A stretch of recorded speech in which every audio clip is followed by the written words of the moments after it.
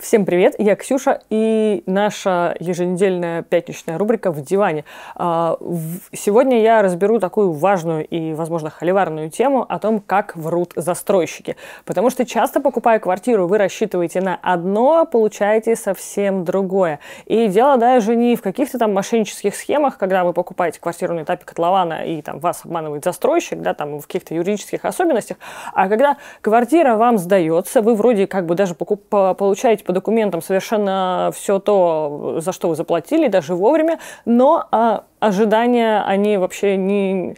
А, реальность, она совершенно не совпадает с ожиданиями. Так вот, э, мы сейчас разберем, почему так происходит. А, я напомню еще раз, да, что это рубрика, в которой я без всяких каких-то примеров, картинок рассказываю просто какие-то вот наболевшие темы, да. Вы э, можете э, внизу в комментариях задавать любые свои вопросы, причем не только по теме ролика, но и по каким-то другим важным темам. На какие-то я буду сразу отвечать, я стараюсь отвечать на максимум вопросов, на какие-то особо больные мы будем делать отдельные выпуски в диване.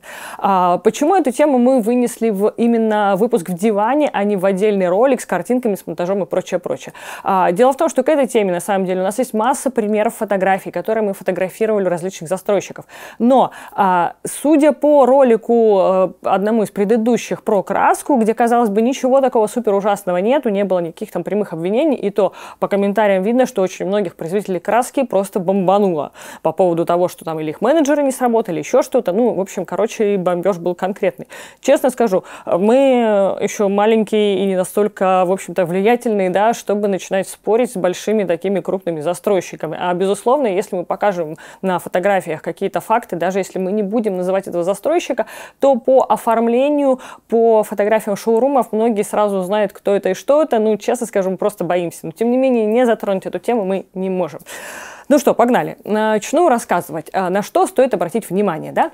Как правило, когда вы покупаете квартиру, выбираете квартиру, вы смотрите рекламные проспекты, там у вас есть планировка, и а, часто она бывает даже без расстановки мебели указаны только площади, ну, либо бывает какая-то расставлена мебель, чтобы вы представили свою квартиру в будущем. Там тут будет кухня, тут будет ванна, тут будет диван, и все, казалось бы, прекрасно, здорово и замечательно. Как правило, на таких планах даже маленькие квартиры э, кажутся большими и просторными. Почему? А, ну, во-первых, там указаны только площади, да, а площадями оперировать вообще такая история неблагодарная, потому что одна, одно и то же помещение, ну, предположим, э, площадью 12, ну, то есть 12 квадратных метров, это как 3 на 4, так и 2 э, на 6, и это пространство абсолютно разное с точки зрения а, там, расстановки мебели, эргономичности, пригодности для жилья. Но это я привела контрастные примеры, понятно, что комнат 2 на 2 на 6 все-таки не бывает, я надеюсь, хотя на самом деле бывает в старом фонде, вот, но а, даже на схожих, э, в схожих помещениях, да, там чуть больше, там чуть меньше, а, выхлоп может быть совершенно разный. Ну, например, ширина комнаты 2,70 или 3 метра, казалось бы, плюс-минус пропорции там при равной площади, они будут чуть-чуть отличаться и в целом даже не будут как-то вот, ну, глобально бросаться в глаза на планах. Там могут быть какие-то схожие, достаточно однушки, двушки, трешки. Вот, но по факту размещая а, в такой а, в спальне мебель, да, у вас 2 метра минимум займет кровать. Это даже, это просто даже 2 метра это матрас, а не кровать, да, даже с минимальным бортиком, с минимальным изголовьем это уже будет 2 и чуть-чуть. Вот. И проход 70 сантиметров, и в ноги вы уже не поставите никакой ни комод, ни какую-то тумбочку, ни тем более шкаф и прочее, прочее. Если это 3 метра или тем более 3,30, у вас уже гораздо более, больше вариантов. 3,30 вы уже вполне можете поставить а, комод, шкаф или какие-то дополнительные места хранения, соответственно, сэкономив место сбоку или еще где-то. То есть у вас будет гораздо больше вариантов. Тем не менее, когда на плане указана только площадь, да, и еще когда план сделан не совсем правильно с точки зрения пропорции отображен, часто бывает это вот не вычислить.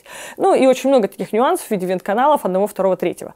Вот. Поэтому старайтесь всегда вычислить истинные размеры. Если у вас у застройщика, он вам дает, предоставляет э, планы с размерами, либо просто они указаны где-то в рекламных буклетах, либо он готов их предоставить по запросу, это вообще очень большой плюс. Если эти планы не предоставлены, возьмите, постарайтесь вот этот вот рисунок рекламный перевести в какую-то программу, ну, мы, дизайнеры, это просто закидываем в автокад и обстукиваем, ну, масштабируем, обстукиваем масштабе, то есть подгоняем а, габариты под площади и стараемся хотя бы примерно вычислить габариты помещений.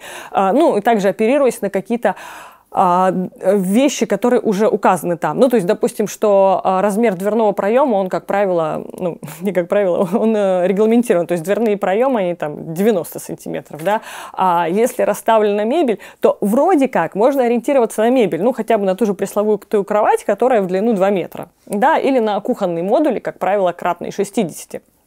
Вот. Но по факту, когда мы смотрим на вот эту вот расстановку мебели от застройщика, часто мы замечаем такие моменты, что расстановка мебели, она просто наврана. И как раз от этого появляется ощущение простора. Ты смотришь, кухня вроде небольшая, ну как в нее все замечательно влезло? Или вроде бы это небольшая однушка, ну посмотрите, там в комнате и кровать, и диван, и стол, и шкаф, и все на свете. Да?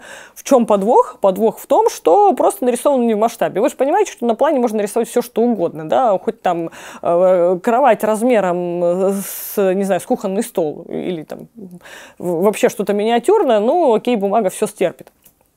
Вот. Когда же начинаешь перерисовывать в истинный размер, тут ты понимаешь весь подвох. Платите это вы за квадратные метры, а не за тот рисунок. То есть, если в плане у вас указано, что это квартира там, площадью там, 30 квадратных метров, да, вы за нее заплатили, вы получили 30 квадратных метров. А то, что у вас а, в результате не влезет та расстановка мебели, которая была указана в рекламном буклете, ну, как бы к этому не придраться. Вот. Поэтому обращайте внимание обязательно на это. Вот. Но, а, окей, ладно, есть... Э, а, рекламный проспект, есть расстановка мебели, вроде как бы на такие моменты многие уже научились обращать внимание.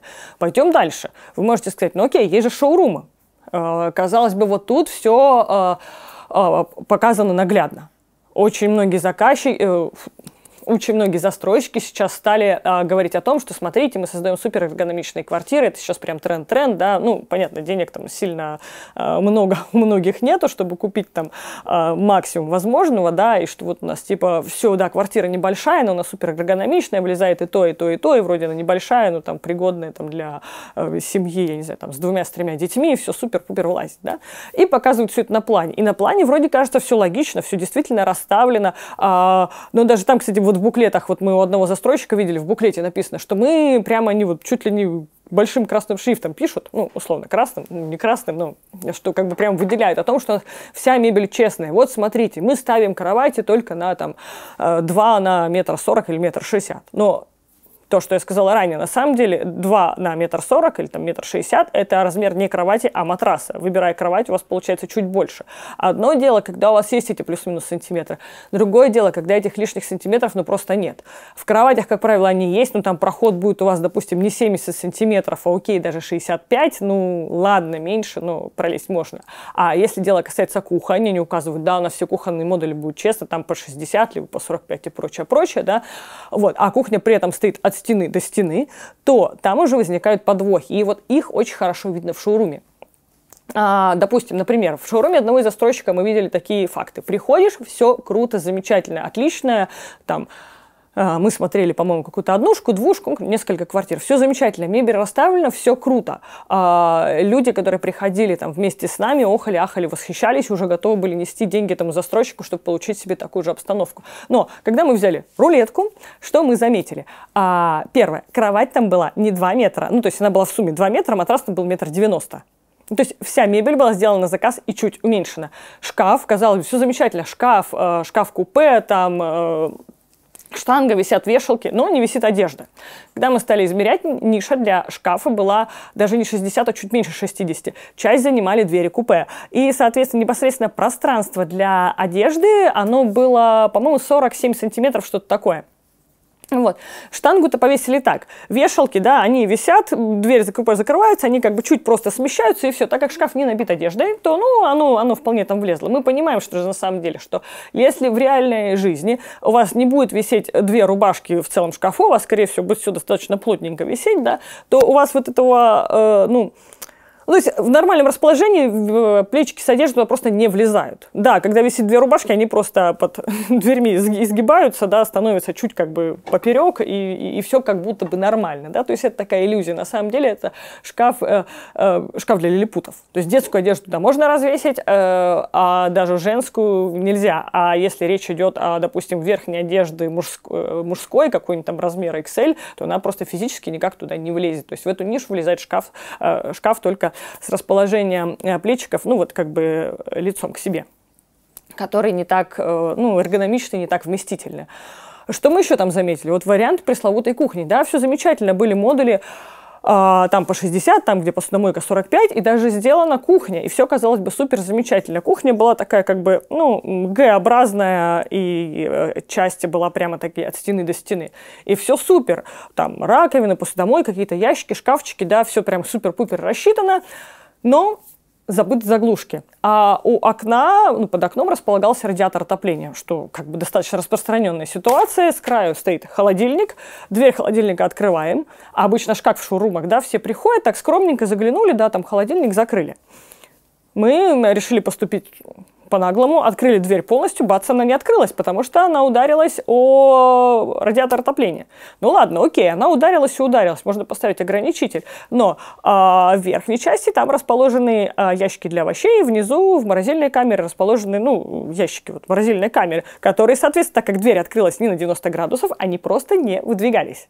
Ну и э, ящики для овощей, фруктов, знаете, да, бывают холодильники, где один большой ящик, где два маленьких. То есть один большой, понятно, не выдвигался, если два маленьких, туда крайний можно выдвинуть, второй не выдвинуть, ну только если выдвинуть этот, передвинуть, ну короче, это получается какая-то шляпа, честное слово. То есть э, Дело в том, что вам любой мебельщик скажет, что при проектировании кухни важно не только размер вот этих вот необходимых модулей выдержать, а важно еще не забыть о необходимых проставках, чтобы у вас двери просто до конца открывались на все 90 градусов и выдвигались ящики, которые там расположены. Потому что где-то, да, можно поиграть и избавиться от этой заглушки, либо минимизировать, сделав вместо ящика в полке. И действительно, мы где-то даже в своих проектах так выкручиваемся. Ну, когда действительно это какой-то крайний ящик, ну окей, мы зато впихнем невпихуемое, ну и пусть у нас там с краю будут полочки, зато у нас в других местах э, достаточно ящиков, все прекрасно. Но это как бы альтернатива, о которой знаешь. Но когда у нас в принципе не влезает, в, ну как бы влезает холодильник, но не открывается, да, или не открывается ящики морозилки, как бы это уже вопрос. Вот. И таких ситуаций достаточно много мы там вычислили. То есть там очень много было планировочных решений, где кухня в нише, где все рассчитано достаточно э, там, плотно, да, то есть понятно, что холодильник 60, посудомойка тоже, ее нельзя чуть предуменьшить, она либо 45, либо 60, там, э, и сделать ее не 45, а 43, ну, такого не бывает, вот, и вот куча таких нюансов, не говоря о том, что там на строительном, на плане, допустим, указано э, размер под кухню, ну, допустим, 2,40, то есть 6, 4, 6 на 4, а, а, 4 модуля по 60, да? По факту говорю, что нужны, как правило, еще необходимые заглушки, то есть чтобы впихнуть туда э, 4 модуля по 60, нужно делать не 2,40, а там 2,45, а лучше 2,50. Да? А там, возможно, строили, когда это все строили, это все было 2,40, потом оштукатурили и получилось 2,38. Но вы же понимаете, что в 2,38 э, 2,45 не влезет, и даже 2,40 не влезет. В 2.38 влезет только в 2.38 или меньше. Э, да, понятно, можно что-то переделать, перепланировать, пере, пере, перекрячить. Даже эту стену, в конце концов, можно чуть снести и перестроить. Но это все деньги. Это все деньги и лишние разочарования. Дальше. Я там проговорила о заглушках, которые необходимы для того, чтобы открывались двери на 90 градусов и двигались ящики. Но есть еще такая вещь, как а, водопровод и канализация.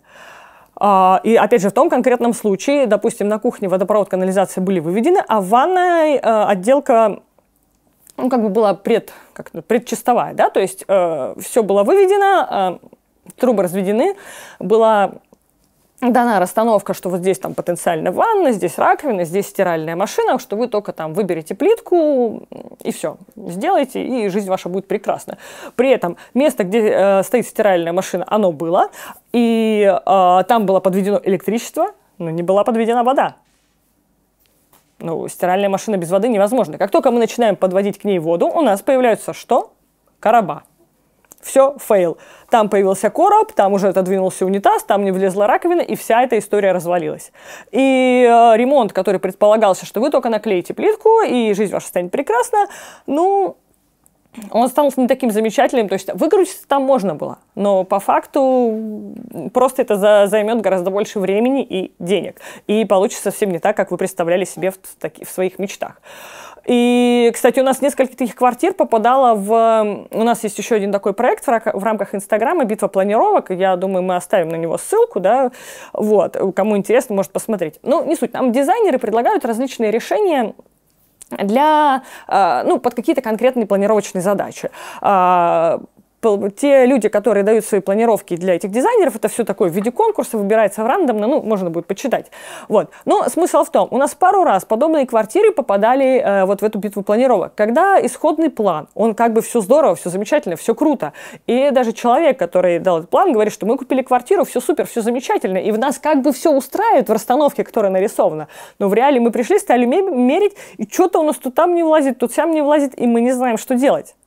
Потому что, опять же, у дизайнеров они вот эти моменты, что вот чуть-чуть не влезло, они сразу видят и сразу потенциально порой вот просто, знаете, там, под шорстком чувствуют, что вот окей, мы тут 2 сантиметра сдвинем, да, мы попадаем на эту стенку, нужно будет переделать какие-то деньги, но, грубо говоря, это всего лишь деньги.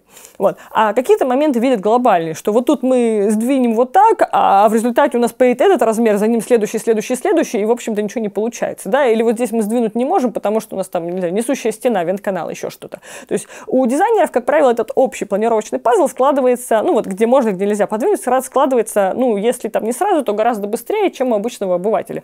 У обычного обывателя, как вот мы заметили, часто бывает, он видит, что тут чуть-чуть не влазит, и все, он, для него концепция вся разваливается. Он не видит сразу вот эти вот сантиметры, которыми можно играть. Ну это нормально, просто потому что он не дизайнер, да, и у него нет такого опыта, практики, что если вдруг что-то пошло не так, то а, как это все, всю эту развалившуюся картину мира собрать вместе. И опять же, а, сразу идут там, либо это начинается ну ладно, и так сойдет, либо начинаются поиски дизайнера, то есть дополнительные затраты.